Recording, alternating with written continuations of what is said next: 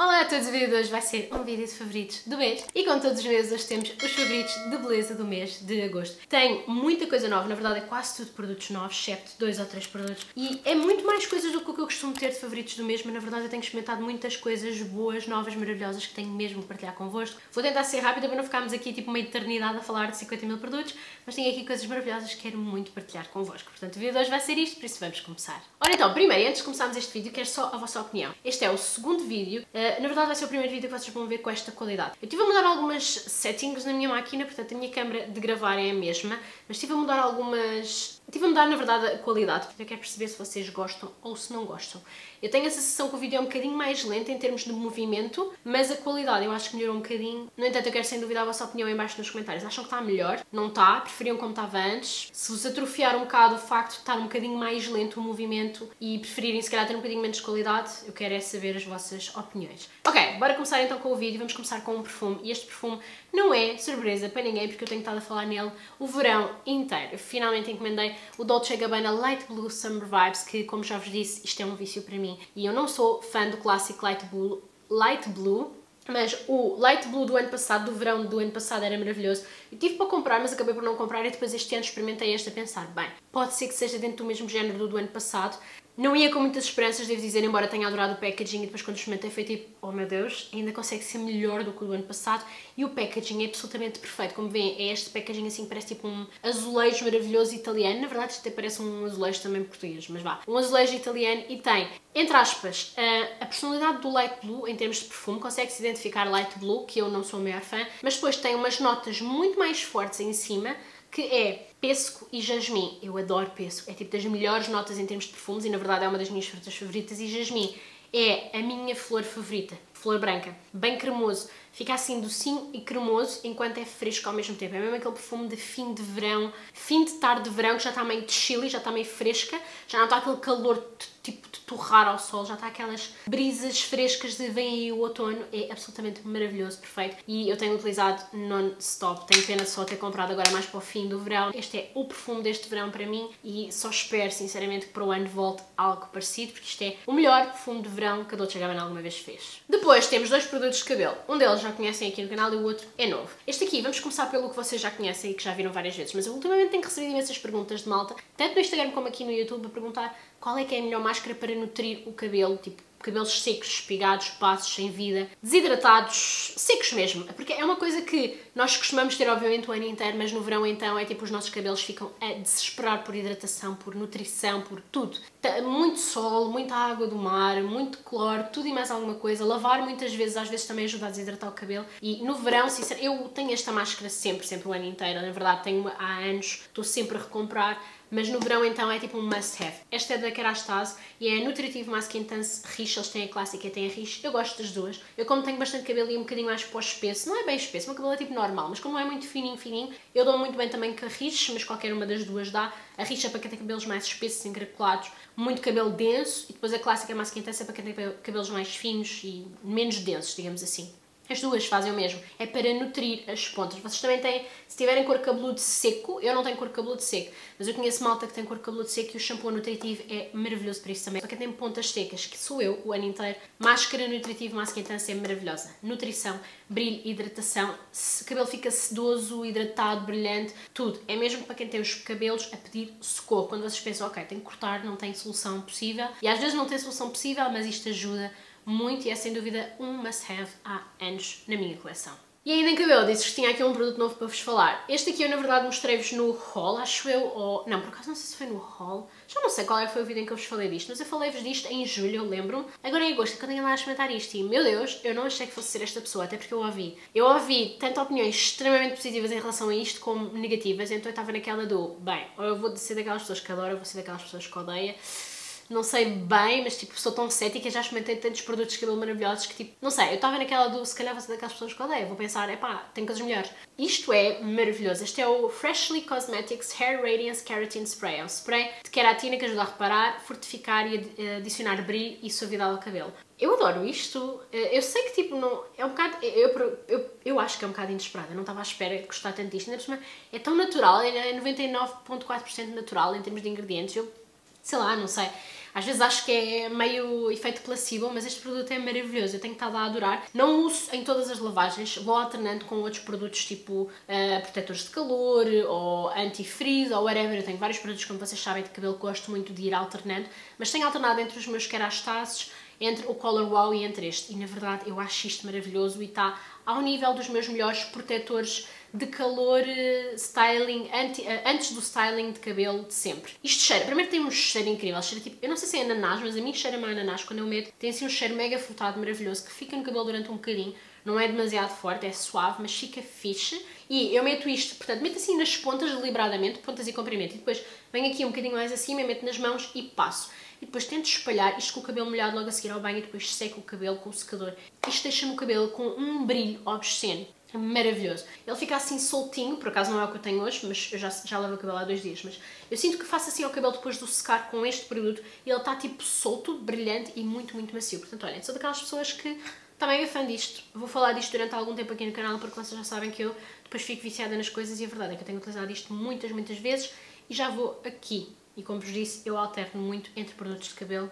Love this. Portanto, se andavam curiosos, tem o meu selo de aprovação. E já que estamos a falar de Freshly, tenho aqui outro produto deles. Uh, isto não é patrocinado, ok? No mesmo vídeo em que vos falei deste produto, eu disse-vos que ia encomendar aquele famosíssimo Golden Radiance Body Oil. O óleo de luminosidade, anti-esterias, ajuda com a flacidez da pele, etc. Especificamente eles estavam com o da edição do Mickey Mouse em promoção, foi o que eu comprei, mas supostamente o óleo é igual ao normal, só que com o packaging do Mickey Mouse. E eu tenho estado a utilizar este mês e como veem também já está bem utilizado. Eu tenho utilizado isto todas as noites, eu não uso no corpo inteiro, no entanto. Eu uso isto antes de me deitar nas zonas onde tenho estrias, celulite, onde sinto que preciso um bocadinho mais de reforçar, tipo a barreira da pele, ajudar com a hidratação e ajudar com cicatrizes e com a elasticidade da pele. E eu tenho sentido a minha pele super hidratada, muito elástica. Não sei, não vos sei dizer, eu acho que as, as minhas estrias estão mais, não digo mais finas, mas parece que como eu apanhei sol, as estrias ficam sempre um bocado mais claras do que o resto do corpo, o resto da pele, digamos assim. Parece que não bronzeiam, e eu acho que é por ser uma cicatriz, que eu sinto que não está a fazer tanto contraste uh, a minha cicatriz mais clara versus a pele normal. E não sei se não é deste óleo, porque eu antes não sentia isso. Portanto, não sei se simplesmente me está a afinar a cicatriz ou se a elasticidade da pele está a fazer com que fique menos uh, notório, sabem? Não sei. Mas eu vou-me deitar com ele e de manhã quando acordo já absorve tudo muito bem. Ele é muito fácil de espalhar e não fica pegajoso demais. Estou a gostar mesmo muito, adoro o cheiro e a minha pele está a gostar muito deste produto. Agora, passamos para produtos de pele. Eu só tenho dois produtos de maquilhagem, na verdade. Eu tenho utilizado bastante maquilhagem até, mas tem sido mais do mesmo, se querem que vos diga. Em termos de rotina de skincare, eu tenho aqui algumas mudanças. Este aqui vocês já conhecem, portanto, vamos começar com ele. Quem me segue aqui há algum tempo já sabe que eu adoro este creme. É o meu creme de pele oleosa favorito de todo sempre, que é da Ionic. Eu já andava mortinha, tipo, eu já não usava para aí há um ano e já andava mortinha. Eu tinha experimentado montes de coisas e tinha gostado e falei aqui no canal coisas que eu gostei, mas nada se compara a este creme. Este é tipo é o melhor creme para pele mista oleosa e no verão então é tipo, eu preciso dele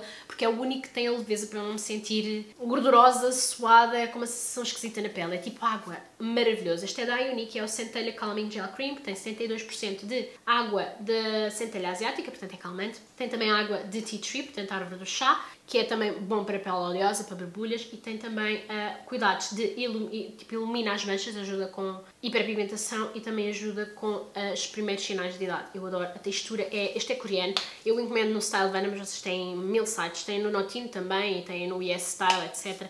Para mim é, o melhor é no Style Vana porque é onde me sai mais barato e tem o meu código, mas estão a ver, Parece tipo uma gota de água transparente e é um gel refrescante, absolutamente maravilhoso, que hidrata super bem a pele e fica sem resíduo absolutamente nenhum. Parece que vocês meteram água na pele, não deixa resíduo instantaneamente absorvível pela pele, hidrata o suficiente, vocês não ficam em momento nenhum a pensar isto não foi o suficiente para me dar conforto à pele e assenta maravilhosamente bem debaixo da maquilhagem. Eu amo este creme. Amo, amo, amo.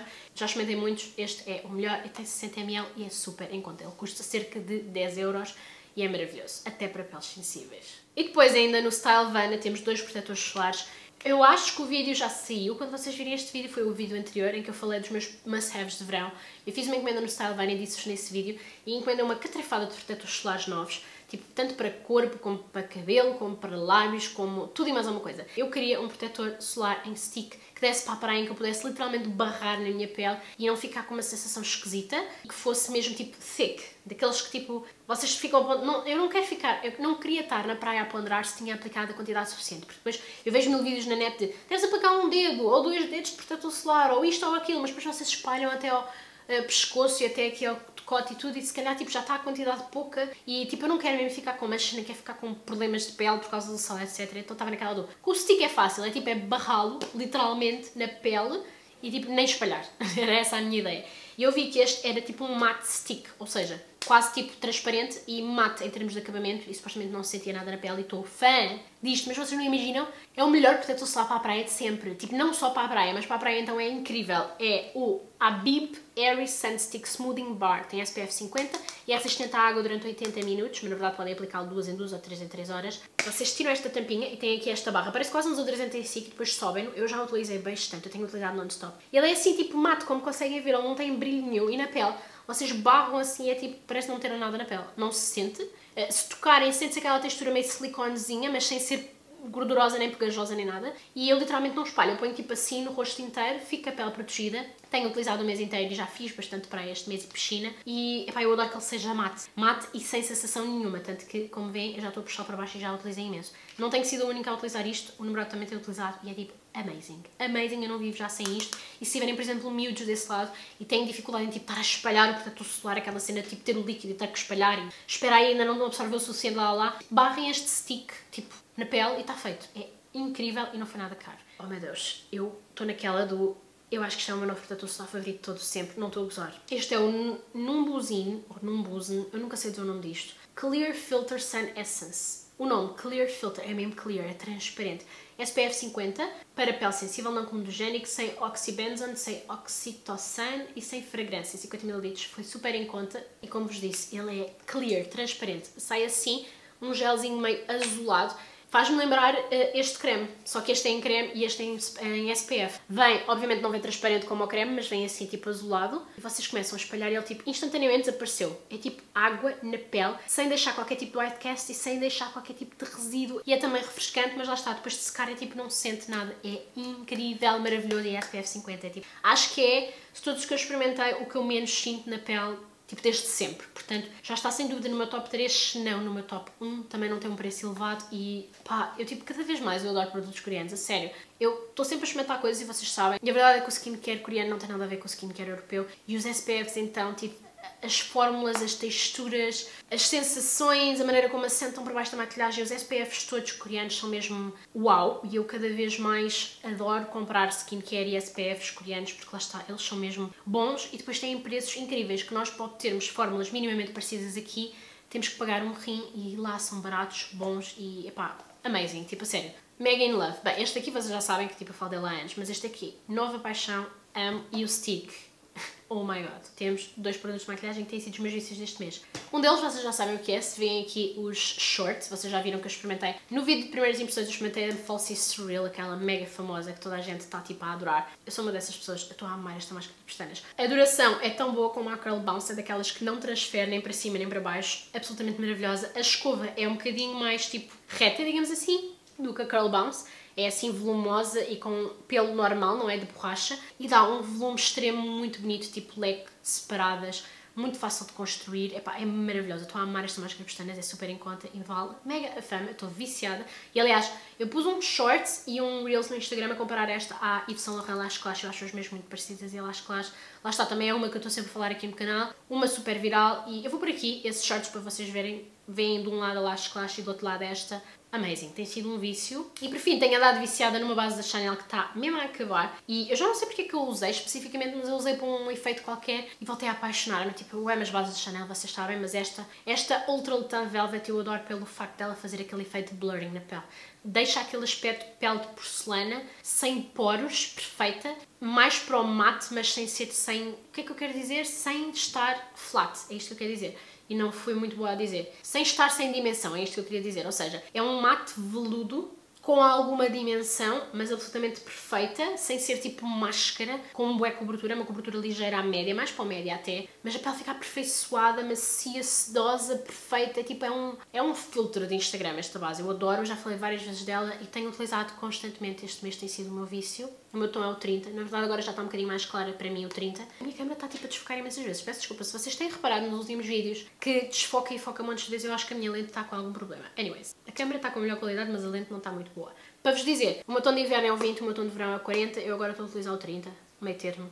mas adoro o efeito desta base. Dá aquele aspecto perfeito, soft matte, aveludado, perfeitinho, que é tipo filtrozinho maravilhoso e eu tenho utilizado muito e tenho estado a gostar de novo e acho que vou acabar com ela muito rapidamente. E pronto, é este vídeo, espero que tenham gostado. Como sempre, quero saber embaixo nos comentários se já experimentaram algum destes produtos. Acima de tudo, gostava que me dissessem em relação ao Freshly, principalmente este, que eu sei que é tipo um daqueles produtos que está famoso há anos aqui na internet e eu demorei séculos a experimentar. Quero saber vocês desse lado se são fresh, não são. E quero saber, obviamente, os vossos favoritos do mês de agosto, pelo menos um.